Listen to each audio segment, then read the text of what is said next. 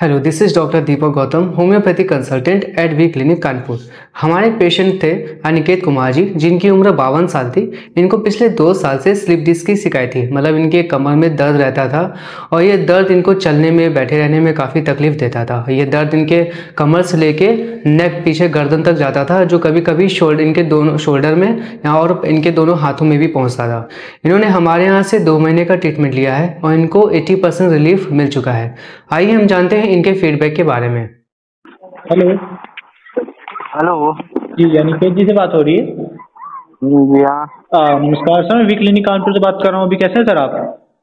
हाँ। हाँ hundred percent ठीक है सर? हाँ ठीक है। चलिए अच्छा क्या प्रॉब्लम आई? बता पाएँगे सर ये फीडबैक कॉल है? दर्द जो है वो पीछे वाला रीढ़े में था दर्द। तो दर्द थोड़ा सा कम हुआ है। वो दवाइयों तो खत्म हो चुका है उसका।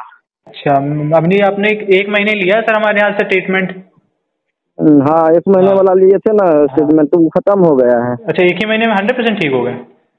ना ना ठीक तो नहीं हुआ दर्द तो है थोड़ा बहुत। अच्छा थोड़ा है क्योंकि एट्टी परसेंट जहाँ तक अभी देख पा रहे हैं एट्टी परसेंट आपको रिलीफ है।